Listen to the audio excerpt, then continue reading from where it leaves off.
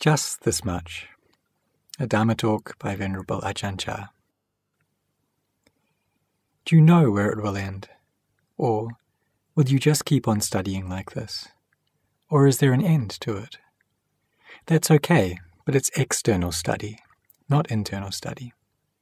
For internal study, you have to study these eyes, these ears, this nose, this tongue, this body, and this mind. This is the real study. The study of books is just external study. It's really hard to get it finished. When the eye sees a form, what sort of thing happens? When the ear, nose, tongue experience sounds, smells, and tastes, what takes place? When the body and mind come into contact with touches and mental states, what reactions take place? Are greed, aversion, and delusion still there? Do we get lost in forms, in sounds, smells, tastes, textures, and moods?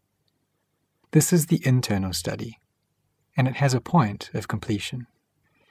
If we study but don't practice, we won't get any results. It's like a man who raises cows. In the morning, he takes the cow out to the pasture. In the evening, he brings it back to its pen, but he never drinks the cow's milk. Study is all right, but don't let it be like this. You should raise the cow and drink its milk too. You must study and practice as well to get the best results. Here, I'll explain it further. It's like a man who raises chickens, but doesn't collect the eggs. All he gets is the chicken dung. This is what I tell the people who raise chickens back home. Watch out so you don't become like that. This means we study the scriptures, but we don't know how to let go of defilements. We don't know how to push greed, aversion, and delusion from our mind. Study without practice, without this giving up, brings no results. This is why I compare it to someone who raises chickens but doesn't collect the eggs. He just collects the dung. It's the same thing. Because of this, the Buddha wanted us to study the scriptures and then to give up evil actions through body, speech, and mind to develop goodness in our deeds, our speech, and thoughts. The real worth of mankind will come to fruition through our deeds, speech, and thoughts.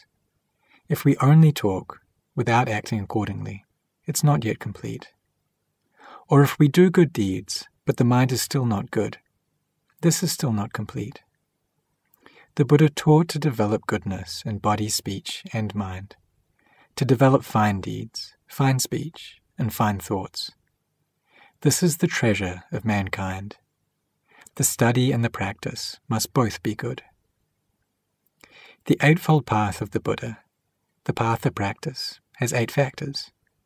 These eight factors are nothing other than this very body two eyes, two ears, two nostrils, one tongue, and one body. This is the path. And the mind is the one who follows the path. Therefore, both the study and the practice exist in our body, speech, and mind. Have you ever seen scriptures which teach about anything other than the body, the speech, and the mind? The scriptures only teach about this, nothing else. Defilements are born right here. If you know them, they die right here.